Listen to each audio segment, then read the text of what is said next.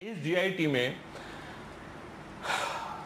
یہ معصوم شخصیت حسین نواز صاحب ان کو جانا ہی جانا تھا۔ یہ اگر نہ جاتے کہ نا کل انہوں نے بلکہ پچیس تاریخ کو ان کو بلایا گیا تھا۔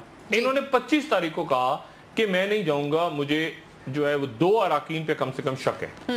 اور دو اراکین پہ شک انہوں نے کیا اٹھایا کہ ایک کی اہلیہ جو ہیں وہ پی ٹی آئی کے پتہ نہیں فیور کرتی جی۔ ہیں دوسرا یہ کرتی ہیں اور دونوں۔ شخصیات ان اسٹیٹ کو چور ہیں ان کو اور اس کے بعد انہوں نے اعتراض کر کے وہ سپریم جی۔ کورٹ کا بینچ بھی کل بیٹھے گا سب کچھ کرے گا لیکن آخر کیا ہوا اچانک دیکھیں وہ وزیر اعظم ہاؤس میں بیٹھے ہوئے تھے وہ وزیر اعظم کے صاحبزادے ہیں اچانک ایسا کیا ہوا کہ وہ عبد الغنی ایڈوکیٹ نامی کسی شخص کے ساتھ صبح صبح اچانک وہ جی آئی ٹی کے سامنے حاضر ہو گئے۔ اتوار کے روز۔ اتوار کا روز یعنی اور صبح صبح ساڑھے آٹھ بجے جی آئی ٹی بیٹھی ہوئی ہے۔ حلوہ پوری کا ناشتہ ہو رہا ہے وہاں پہ۔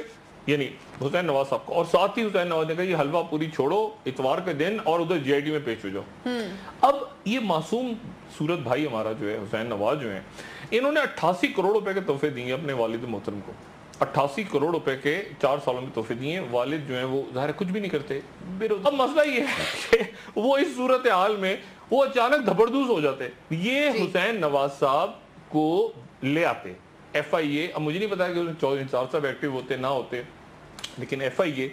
اور باقی ادارے یہ ذہن میں رکھیں کہ یہ جو جی آئی ٹی ہے یہ سپریم کورٹ ہے۔ سپریم کورٹ کی ایک طرح سے۔ ان کی بنائی ہوئی اور ان کی اتھارٹی کے اندر کام کر رہی ہے آرٹیکل 190 جی۔ میں نے رات کو بھی بات کی تھی کہ ایف آئی اے جو ہے وہ پکڑ کے لا سکتی ہے۔ وہی میسج غالباً چلا گیا۔ دونوں باتیں کل کی عجیب سے ہوئی زرداری صاحب نکل گئے رات کو اور- ایف آئی کا وہ جی، میسج اور چلا گیا۔ اور وہ ادھر نکل گئے وہ ادھر پیش ہو گئے۔ جی۔ تو میرا یہ خیال ہے میری بات تو سنتے ہیں چھوٹی موٹی دیکھیں نا۔ یہ تو طے ہوا نا میری تھوڑی تھوڑی موٹی بات تو جی۔ سنتے ہیں نا معصوم اچھے لوگ ہیں۔ اچھا تو زرداری مطلب تیس تاریخ کو پھر سے نہیں تیس تاریخ کو پھر بلایا ہے لیکن مسئلہ یہ کہ صبح جی۔ سپریم کورٹ میں وہ پیشی ہونی تھی تو ایک دن پہلے آخر ایسا کیا ہوا؟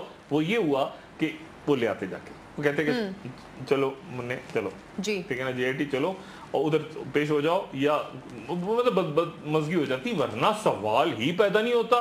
حسین نواز اتوار کے دن حلوہ پوری لسی کا ناشتہ چھوڑ کے اور آپ کو پتا ہے نا ویکینڈ میں میاں صاحب اسلام آباد نہیں ہوتے؟ ویکینڈ پہ میاں صاحب ریمنڈ ہوتے ہیں۔ یعنی ایسا کیا ہو گیا؟ ایسا کیا ہوا؟ حسین نواز صاحب صبح صبح ساڑھے آٹھ بجے عبد الغنی ایڈوکیٹ نامی ایک شخص کے ساتھ پہنچ گئے جی آئی ٹی میں۔ ڈھائی گھنٹے انہوں نے بٹھایا اتوار کے روز۔ اور ڈھائی گھنٹے بٹھانے کے بعد وہ پیچھے پتلی گلی سے نکل گئے۔